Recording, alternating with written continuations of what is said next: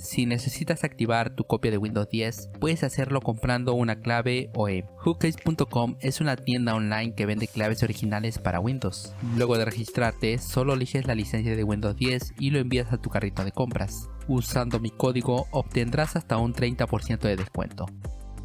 Tienes varias formas de pago a tu disposición. Luego de haber hecho tu compra, tu clave aparecerá en la bandeja de tu cuenta.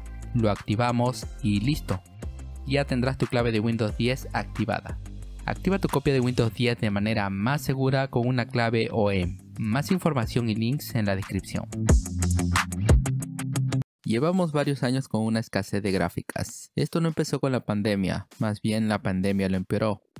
Fue más o menos en 2018 con el auge de Bitcoin que las tarjetas de video empezaron a desaparecer de las tiendas de la noche a la mañana.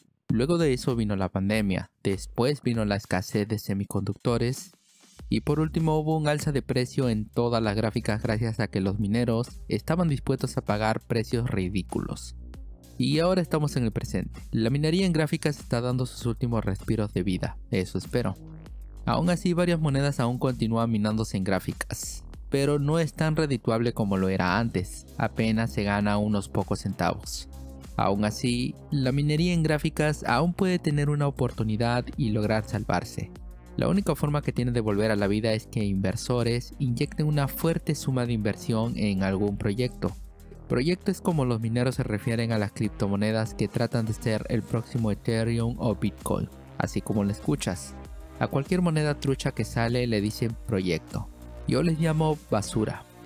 Pero bueno, si eso llegase a pasar, volveríamos a vivir otra vez la misma pesadilla de no conseguir una gráfica decente. No voy a hablar sobre la minería en gráficas y su posible muerte. Ese es un tema que abarcaré en otro video que ya estoy terminando y lo subiré en unos días. Lo que quiero contarles es que estamos en un punto decisivo que si todo sale bien, vamos a tener gráficas para elegir durante varios años. Primero, aunque todavía no tenemos un gran surtido de stock, a día de hoy ya existen modelos de gráficas que van muy sobrados en juegos 1080p y con las opciones gráficas en alto y muy alto. Inclusive ya estamos empezando a saborear la resolución de 1440p en varios juegos con gráficas relativamente económicas. Mires el caso de la RX 6600 y la RTX 3060 gráficas que nos dan una experiencia idéntica o cercana a una Xbox Series S, la consola más asequible de Microsoft. Nvidia ya está lanzando sus gráficas más actuales, las RTX de la serie 40, y a su vez está tratando de vender sus gráficas de la serie 30 a precios más o menos justos. AMD tiene excelentes gráficas costo-rendimiento y dentro de poco lanzarán su nueva serie de gráficas que, según rumores, parece que van a superar a las RTX actuales de Nvidia. Intel regresó al mercado de gráficas después de tanto tiempo. Aunque sus nuevas gráficas no han tenido un buen comienzo, no han sido un desastre del todo. Le falta pulir algunos detalles, pero es bueno tener un competidor más en este mercado que lo tenía dominado Nvidia y AMD. Pues bien, tenemos tres empresas tratando de competir en el mercado de tarjetas de video para uso doméstico y pronto se sumarán otras más. Desde hace un par de años se vienen desarrollando gráficas diseñadas y fabricadas enteramente en China. Y no vayan a pensar que me estoy refiriendo a estas gráficas de marcas chinas. No, no me refiero a esas. Esas gráficas siguen el mismo patrón que cualquier ensamblador conocido, tales como Gigabyte o Asus. Ellos compran a Nvidia o AMD grandes cantidades de sus chips gráficos y estos ensambladores lo agregan en una placa personalizada según su marca. Yo me refiero a gráficas diseñadas y fabricadas desde cero. Ya son varias las empresas que están metiéndose de lleno en diseñar y fabricar gráficas de alto rendimiento. China está empezando a tratar de rivalizar con Estados Unidos, ya que tanto AMD como Nvidia son empresas estadounidenses. El interés de China por tratar de tener gráficas que rivalicen con las ya existentes son por dos motivos. El primer motivo es dejar de depender de la tecnología extranjera, ya que fue Estados Unidos quien impuso una sanción a China que impedía a las empresas tecnológicas de origen estadounidense que le proporcionasen algún tipo de tecnología o material tecnológico directamente al país chino. La segunda razón es no quedarse atrás en el desarrollo del aprendizaje profundo y de la inteligencia artificial. ya que el desarrollo de la inteligencia artificial será lo que predomine en la siguiente era del Internet y la Web 3.0. Pero como todas las cosas que crea el ser humano, puede usarse para el bien o para el mal. Este encabezado lo dice todo. Y es que en estos tiempos todos desconfiamos de todos.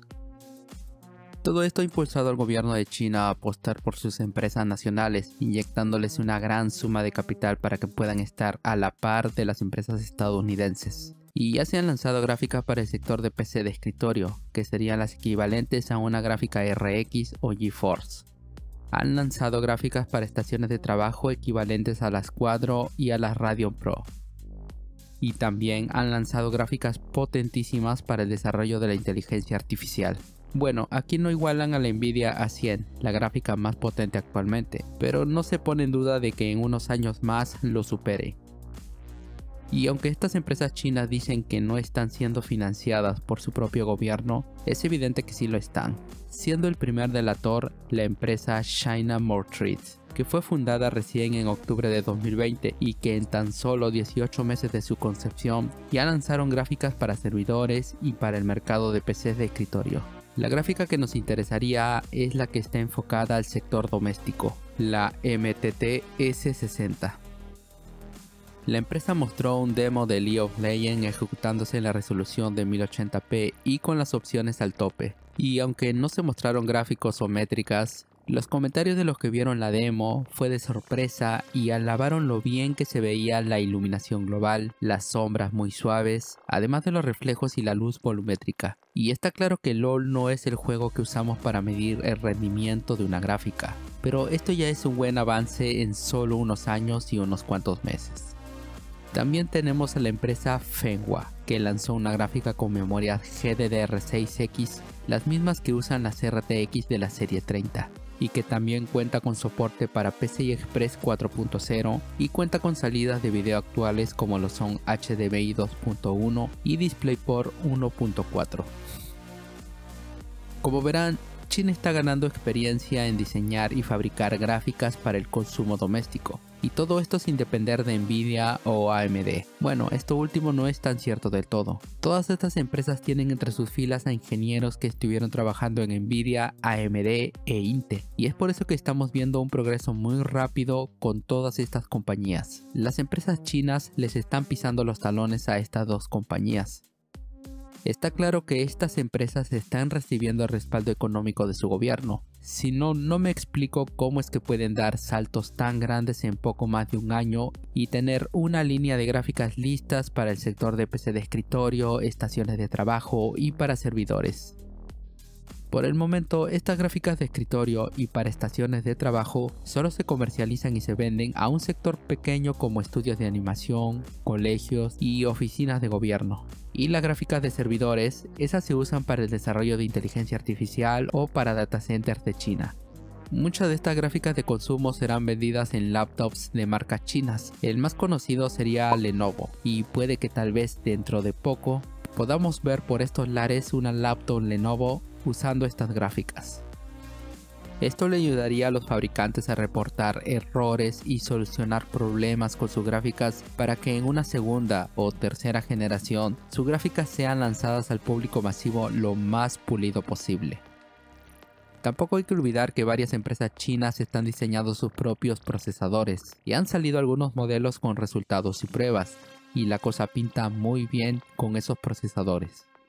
La competencia está fuerte y Estados Unidos no quiere quedarse atrás. El gobierno de Estados Unidos recibió una carta firmada por todas estas empresas donde piden al gobierno de turno invertir fuertemente en sus empresas de tecnología para no quedar atrás frente a las empresas asiáticas a lo que el gobierno de turno está dispuesto a hacerlo y ayudará a sus empresas tecnológicas a recuperar el liderazgo que tenían décadas atrás. Todo esto está ocurriendo actualmente y si todo sale bien, pronto veremos varias marcas de gráficas compitiendo en el mercado de tarjetas de video, similar a lo que está ocurriendo con el mercado de celulares. Con el declive de la minería en gráficas, y si le sumamos más competidores que posiblemente entren en dos años, podemos asegurar que vamos a tener muchas gráficas para elegir. Ya no volveríamos a vivir la misma pesadilla que vivimos desde 2018 hasta el 2022. Como consumidores finales, solo nos queda observar la competencia entre estos países y esperar pacientemente. Como les dije al principio, estamos en un punto decisivo. El avance tecnológico de las empresas asiáticas y la competencia que éstas les puede plantear a Estados Unidos puede resultar en un gran beneficio para todos nosotros. Un ejemplo más palpable de esto son las gráficas y procesadores de laptops que son adaptados para ser usados en una PC de escritorio. No es lo mismo que diseñar una gráfica o un procesador desde cero, pero al menos muchos fabricantes ya están ganando experiencia haciendo todo esto. Yo no odio ni a Intel ni a Nvidia, y mucho menos odio a AMD. No los odio, ni tampoco los adoro. Lo que yo adoro es un producto bueno, con un precio justo, cualquiera que sea la marca, y provenga del país que sea. Ustedes piensan lo mismo, ¿verdad? Entonces, dígame, ¿Les late más competencia en el mercado de gráficas y procesadores? ¿O solo desean que Intel, Nvidia y AMD sean los únicos y que no debería ingresar nadie más? Háganmelo saber en los comentarios. Eso es todo. Nos vemos. Para mostrar más componentes baratos de PC, puedes unirte a los miembros del canal. Ellos son los miembros del canal. Gracias a su apoyo, me ayudan a traer más componentes baratos de PC para mostrárselos en el canal. Muchas gracias por su apoyo. En serio, mil gracias.